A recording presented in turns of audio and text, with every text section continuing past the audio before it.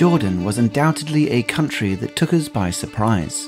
Home to one of the new seven wonders of the world, Petra alone is an easy bucket list entry, and for some, worth the price of admission alone. Due to the country's small geographical footprint, Jordan also packs a plethora of easy to reach excursions. For one moment, you could be floating in the incredibly buoyant Dead Sea, and then spending an evening in the starry desert. Now add numerous biblical sites such as where Jesus was baptized, followed by ancient Roman ruins, and you have an incredibly rounded trip, which, if you'll allow, we'd love to take you with us. If you're new here, then welcome. We make travel movies from around the world, hoping you might just find your next holiday inspiration. This is Suitcase Monkey, taking you through seven days in Jordan.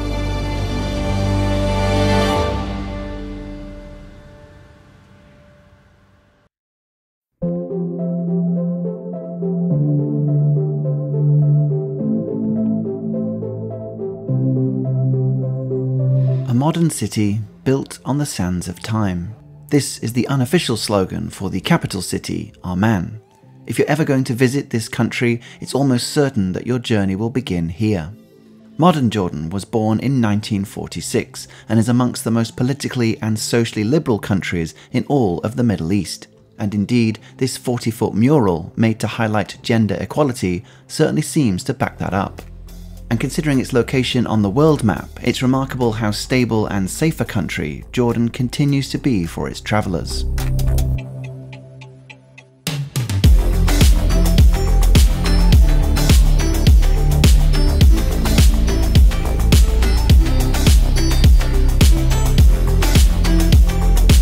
Our first stop was this 6,000 seat amphitheatre, cut into the northern hillside. It's an impressive reminder of the 2,000 year old Roman history that echoes throughout this trip. Full restoration of this playhouse began in the 50s, and the venue is still sparingly used today for concerts and festivals.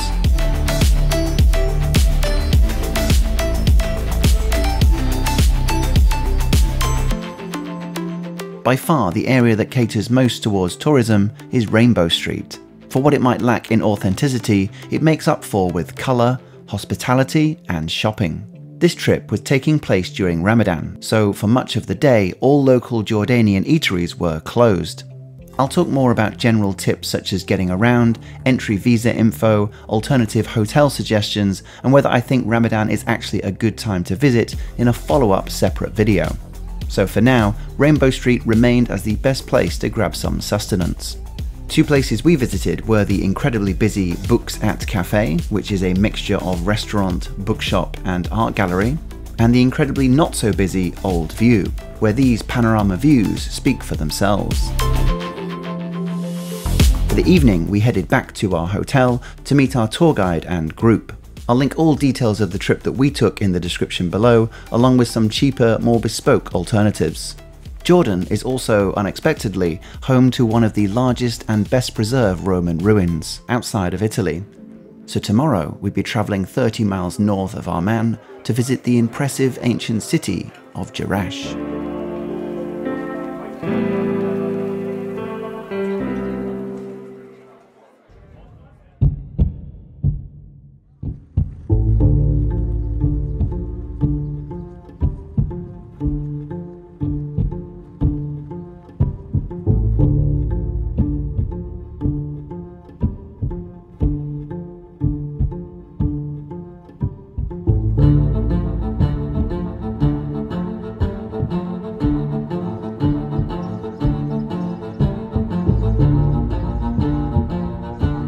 Say all roads lead to Rome, and this was one of them.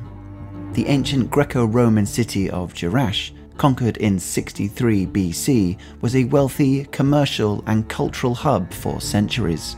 The landscapes seen here are so vast and well preserved, it's often referred to as the Pompeii of the Middle East. And it's easy to see why when its sightlines and surrounding height seem to disappear into every direction but there are still some major landmarks to look out for. There's the Grand Hippodrome, once used for chariot races, which would have held up to 15,000 spectators. The impressive 90 metre wide oval plaza, once a lively forum, and the South Theatre. which rather bizarrely had this bagpipe trio. It turns out that bagpipes are a surviving remnant of when Britain had administrative control in the 1920s. After numerous invasions, earthquakes, and modern trade routes, Jerash slowly fell out of favour and into disrepair. There is actually a Roman citadel inside Amman itself, but Jerash is well worth the hour long trip to experience these ancient sites on a much grander scale. For the evening, we spent a few hours at a local cooking class back in Amman. Run by three sisters, their goal is to keep their grandmother's cooking alive, which our group tried to live up to. Everyone else seemed to do pretty well, but to be honest, I think my own culinary additions were about as welcome as being at a Paul McCartney gig and hearing, here's one of my new ones. But the host we had was superb, so with a bit of expert help, we all somehow managed to pull off a decent evening meal. Tomorrow, our mini adventure would kick up a gear as we'd be leaving Amman behind and stepping into the Old Testament, making our way towards the Dead Sea.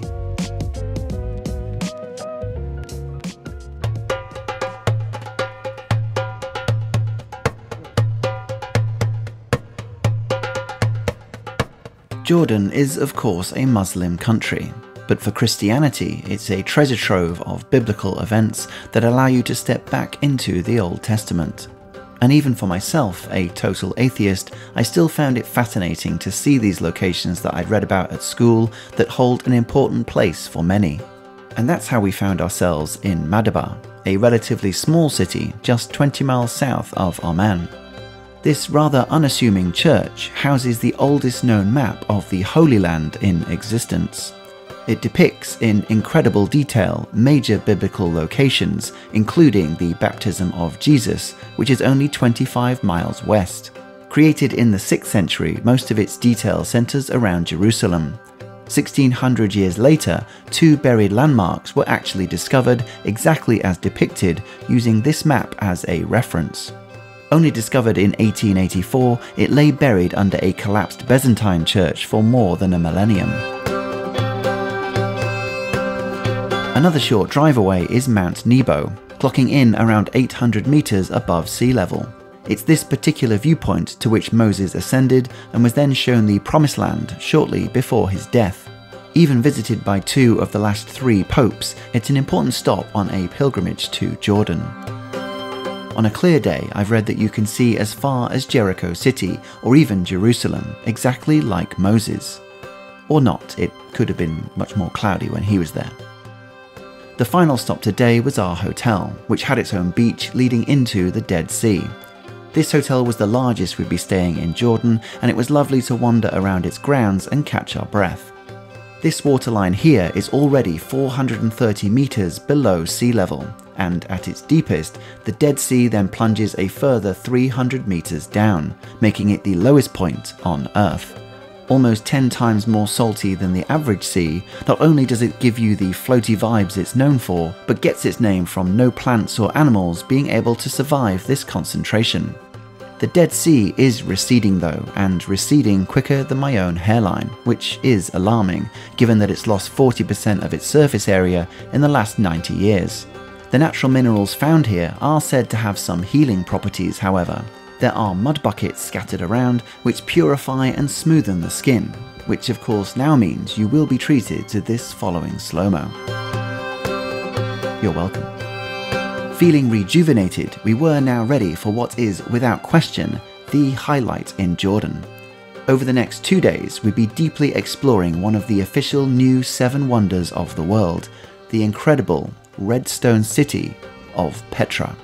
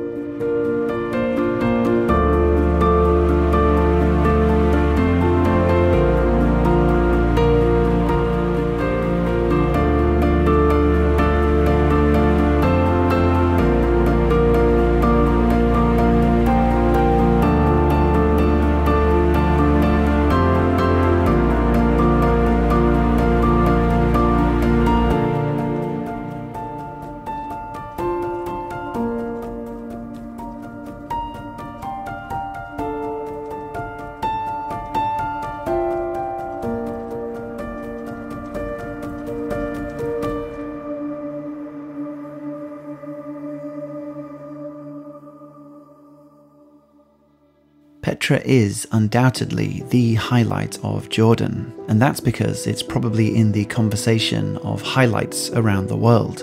I promise you that no video you see here will really replicate what it's like walking around this ancient city. Stretching across 100 square miles, this massive landscape was the capital for the Nabateans, who prospered here around 2,000 years ago, by way of trading myrrh, frankincense, and spices.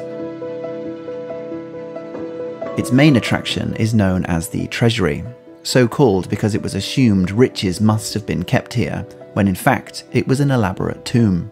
The idea that an important treasure was hidden here seems apt, given that it was the fictional home to the Holy Grail in Indiana Jones and the Last Crusade.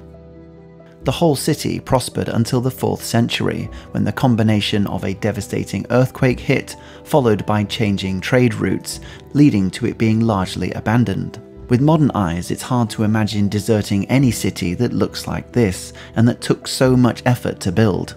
That effort can still be seen here today, with these square holes seen in the treasury, for example.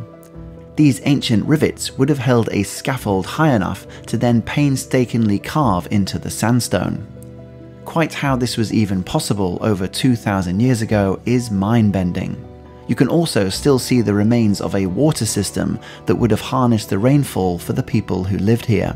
It's a remarkable mixture of nature and craftsmanship that makes up Petra, with its foundations designed by centuries of tectonic shifts and then shaped by skilled hands into the stone. Again, I'll go into more detail about visiting Petra in a follow up video, so make sure you're subscribed for that, and I'll link it here once it's complete. There are a number of different areas that you can explore, and all of this footage here covers almost a day and a half. In the intense heat, often with little shade and a steady incline, some of its routes are not for the faint of heart. Even Chiaki had to call it a day after six hours of hiking, which left me to struggle up this last 25 minute stretch where I clung onto the fact that the final lookout would hopefully be worth it.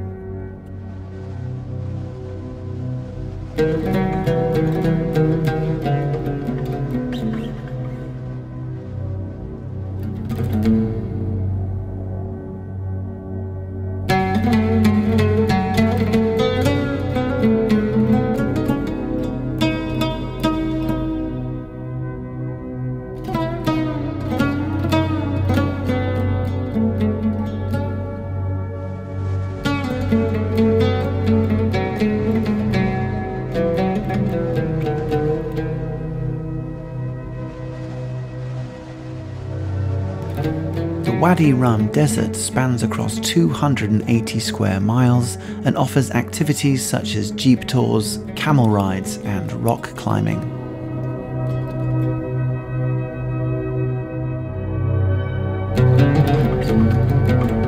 Human existence has been placed to prehistoric times, with numerous rock carvings still conveying messages from a lost civilization. You can see people, feet, an animal, and Paula. Who was this Paula, and why was she so loved? Internationally, it was brought into the conscious with its connection to the British Army officer Thomas Edward Lawrence, or better known to the world as Lawrence of Arabia. Not only was the real Lawrence most associated with Jordan, but these plains formed the backdrop for much of the 1960s movie. Wadi Rum has since been featured in Star Wars, Aladdin, Dune, and due to the large presence of iron oxide here, it's often used to depict Mars, as seen in The Martian by Ridley Scott. One of the most popular activities in Wadi Rum is spending an evening under the stars in a luxury campsite. There was no 4G, no Wi Fi, and sometimes no electricity, but was the perfect way to completely switch off.